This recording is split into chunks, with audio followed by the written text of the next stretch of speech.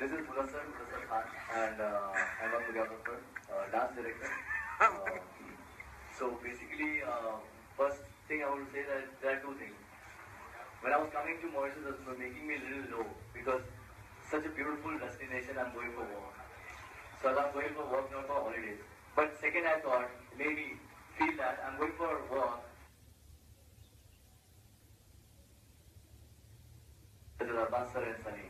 So that made me happy and I'm excited for that. And uh, I'm here from last uh, seven days and hunting for locations and, and thank you, thank you so much for all the help and uh, facilities provided by you and uh, they. Uh, so I think uh, I'm very excited. I'm speaking too much. So thank you, thank you so much. All the best to everybody. Thank you. All playing important characters in the film. Gauhar, Gaur Khan, he's playing one of the main villain in the film. And uh, special thanks to, of course, uh, Vijay Mehtaji and Aman Mehta.